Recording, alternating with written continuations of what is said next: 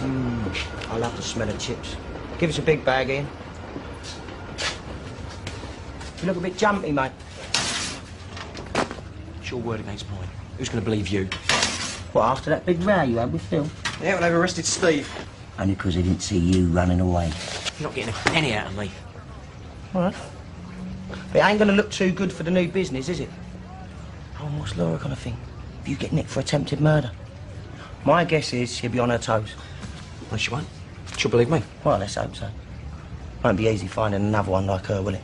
I mean, willing to take on three kids. You really are a scumbag, aren't you? Listen, pal, I done you a favour. I could have gone straight to the old bill, but I didn't.